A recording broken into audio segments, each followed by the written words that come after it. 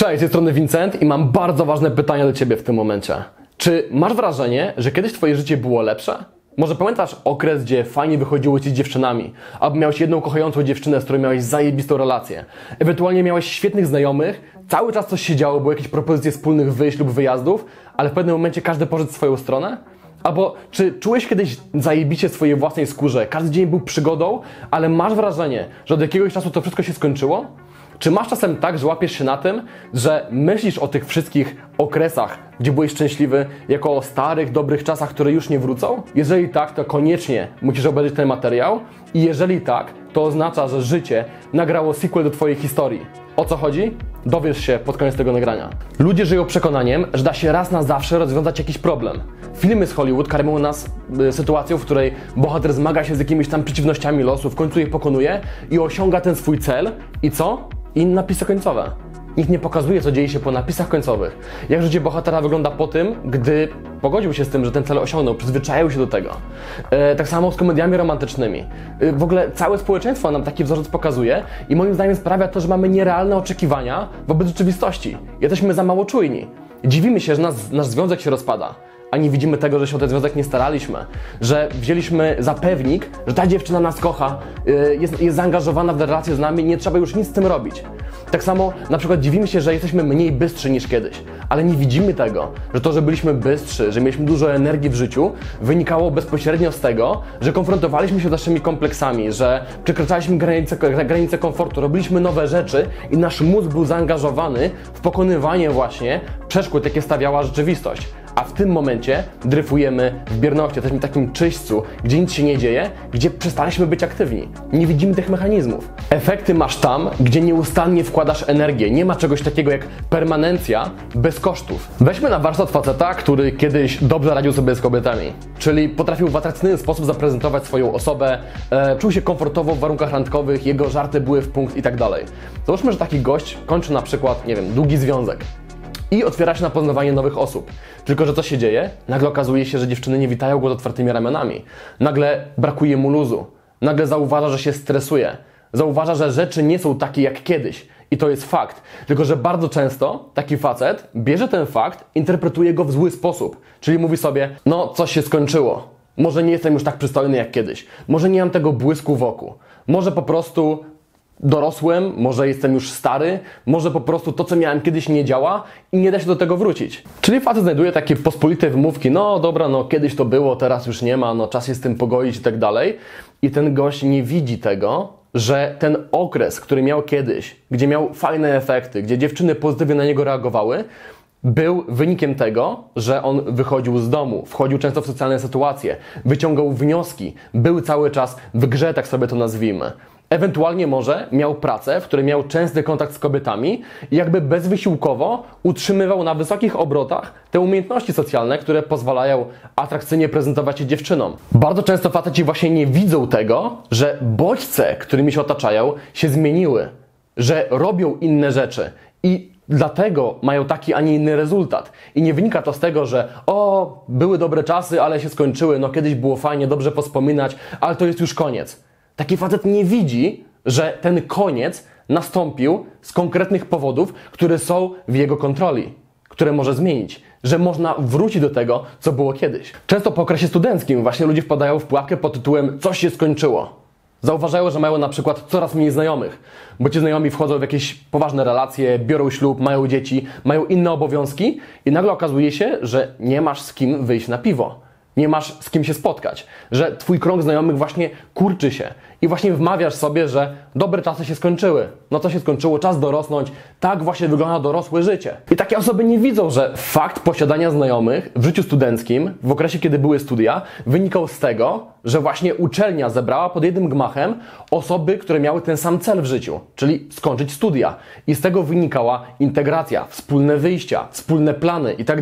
Więc nic dziwnego, gdy ten wspólny cel został osiągnięty, każdy poszedł w swoim kierunku.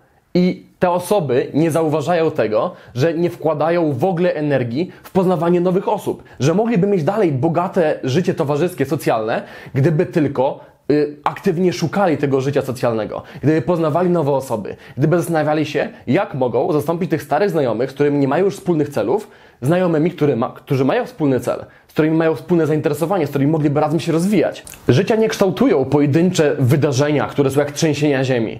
Twoje życie to jest suma powtarzalnych rzeczy, które robisz każdego dnia i które w perspektywie tygodniowej się sumują, które sumują się w perspektywie miesięcznej, kwartalnej i rocznej.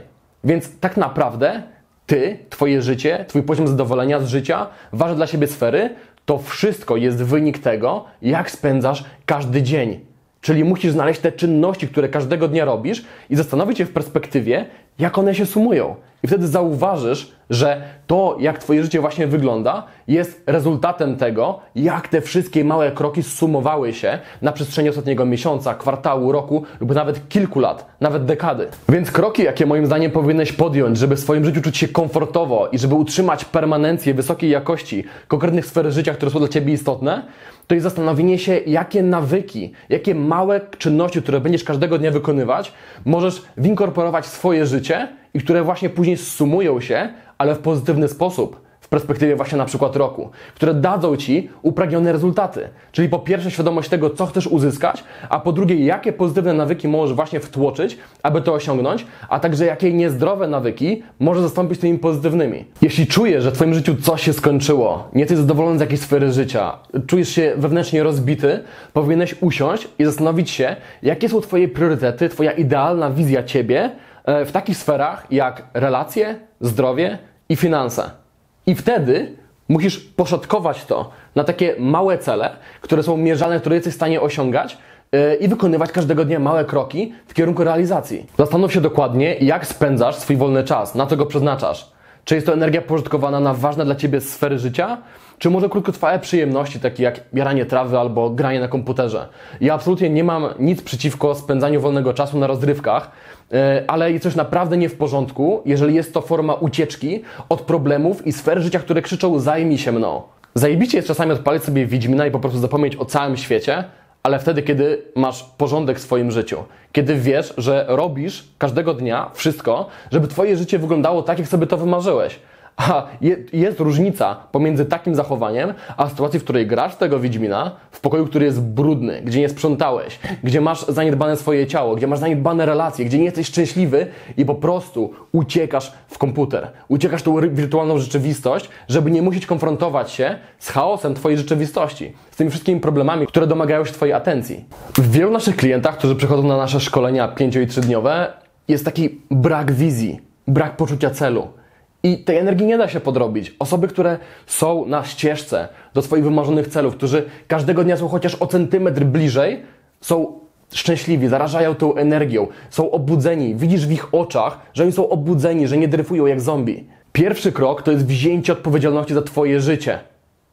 Świadomość, że to, jak wygląda Twoja codzienność, to jest Twoja wina, nikogo innego. Nie możesz pokazywać palcami, bo jesteś w stanie zadbać o swoje najbliższe otoczenie o to, jak wyglądały Twoje podstawowe sfery, na jakim poziomie są. I oczywiście to nie jest łatwe, ale nikt nie powiedział, że takie jest, bo całe społeczeństwo przyzwyczaja nas do bierności, do konsumowania, do bycia w takim właśnie dryfowaniu, w takim półśnie, gdzie po prostu nie angażujesz się w rzeczywistość, nie angażujesz się w miejscach, których nie znasz, nie, nie budzisz się, po prostu robisz to, czego wymaga od Ciebie program masz wszystkie rozrywki na świecie. Jeżeli mieszkasz na przykład w Polsce, w europejskim państwie, to tak naprawdę masz wszystko, czego potrzebujesz. Masz prąd, masz mieszkanie, masz komputer, masz internet. Wszystkie formy ucieczki od problemów są Ci dostępne.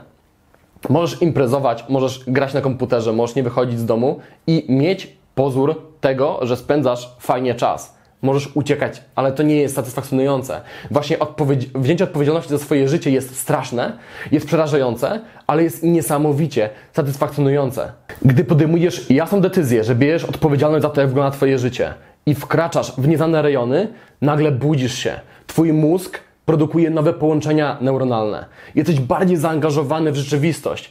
I twoim, Twoją nagrodą może nie jest osiągnięcie celu tu i teraz, bo każdy cel, o który warto walczyć, nie jest łatwy do osiągnięcia i zazwyczaj jest to taka długa ścieżka, ale Twoją nagrodą jest samo poczucie, jakie idzie w parze z kroczeniem po tej właśnie ścieżce. I z tej perspektywy bardzo łatwo jest nauczyć się czerpania przyjemności z procesu.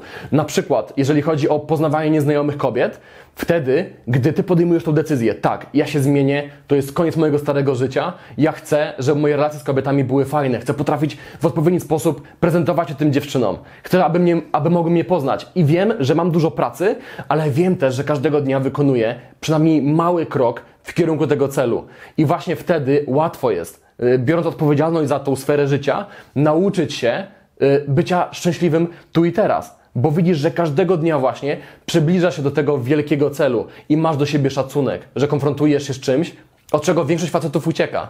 Że jesteś w stanie zacisnąć zęby, wziąć się za jaja i po prostu podejść do tej dziewczyny, powiedzieć jej coś, spalić cię w atmosferze, poczuć te emocje, które cię przytłaczają, ale wytrzymać te emocje, pozostać z nich i czegoś się nauczyć i kolejnego dnia wyjść mądrzejszym o wczorajsze doświadczenie i znów spróbować, i znów się spalić, i znów wyjść z domu, aż do momentu, gdzie nauczysz się to robić, gdzie nauczysz się w dobry sposób prezentować swoją osobę, zauważysz, że kobiety dają Ci więcej czasu, że bardziej Cię lubią, że nie jest dla Ciebie problemem poznać kogoś i po prostu pójść na randkę i na tej randce zrobić dobrą robotę. I ta ekscytacja, która wynika z tego, że cały czas się uczysz, że w tej dziedzinie, jaką są relacje, jest tyle do nauczenia się, nie tylko o kobietach, ale o sobie, o tym, jak wszystko działa, jak ty się czujesz z tym wszystkim, jakie są twoje cele, bo te cele, jeżeli chodzi o relacje z kobietami, też się zmieniają w czasie. Na początku chcesz tylko nie być samotny, a później zauważasz, że warto też mieć jakieś standardy w tym życiu. Warto mieć standardy odnośnie swoich partnerek. Co akceptujesz, czego nie akceptujesz. Uczysz się właśnie tego. To jest piękne, to jest odkrywanie tych kart, które do tej pory leżały na stole i mogłeś tylko patrzeć na nie z wierzchu, domyślając się, co jest pod tą kartą. Dużo bardziej satysfakcjonujące i fajne jest wzięcie tej karty i odsłonienie jej. Zobaczenie, co tam się kryje. To jest niesamowite. Wyobraź sobie, że życie to jest takie zachłanne studio filmowe, które bez końca będzie nagrywać sequele do oryginalnej produkcji, którą jest Twoja historia. I tylko od Ciebie zależy, czy dołożysz starania, by były to filmy warte oglądania, wnoszące coś do serii, intrygujące, Czyli czy zaangażujesz się w proces tworzenia tych filmów, które i tak powstaną, nie masz na to wpływu. Czy będzie to klasyczne odcinanie kuponów, jak w seriach, które są tak rozwodnione i tak beznadziejne, że nikt nie chce już ich oglądać? I chcesz tego czy nie, zobaczysz na dużym ekranie, jak Twoje ciało staje się coraz lepsze, coraz bardziej wysportowane, albo coraz bardziej zaniedbane, że pojawi się brzuszek piwny. Zobaczysz na dużym ekranie swoje relacje. Może zobaczysz zamiast tego samotność, przygnębienie. To jest Twój wybór, bo życie i tak nagra sequel. Więc możesz się zaangażować w tą produkcję albo patrzeć, jak każdego dnia jest Ciebie mniej. I to jest tylko Twoja decyzja. I z tym zostawiam Ciebie. I pamiętaj o tym, że jeżeli interesują Cię zagadnienia poprawiania swoich relacji z kobietami, to możesz zostawić nam maila w linku w opisie albo w pierwszym komentarzu i otrzymasz półtorej godzinny materiał, w którym z zaangażowaniem dzielę się z Tobą wiedzą na temat tego, jakie nastawienie i jakie właśnie procedury musisz prowadzić do swojego życia, aby Twoje relacje z kobietami były coraz lepsze każdego dnia. Czyli jak proaktywnie dbać o to, aby właśnie ta kropla drążyła skałę i w perspektywie dała Ci relacje, jakich oczekujesz. Pamiętaj też o tym, że możesz przyjść na nasze szkolenie, wystarczy, że napiszesz na kontakt małpa icytowneowodzenie.pl, gdzie spędzisz z nami 5 dni, gdzie podzielimy się z Tobą wiedzą nie tylko odnośnie kobiet, tego co działa, co nie działa, ale też tego, jak być bardziej atrakcyjną osobą, jak pokochać siebie, jak pokonać swoje kompleksy, jak być właśnie tą proaktywną osobą, zaangażowaną w przeżywanie życia na bardzo wysokim poziomie. Jeżeli masz jakieś pytania, albo chciałbyś dowiedzieć się, jak to wygląda w prawdziwym życiu w praktyce, to po prostu napisz do nas maila i wszystko Ci wyjaśnimy. Yy, swoją drogą, mam nadzieję, że wideo Ci się podobało. Nie przygotowałem go jakoś specjalnie. Po prostu miałem natchnienie, że ten temat jest ważny i muszę się z nim z Tobą podzielić.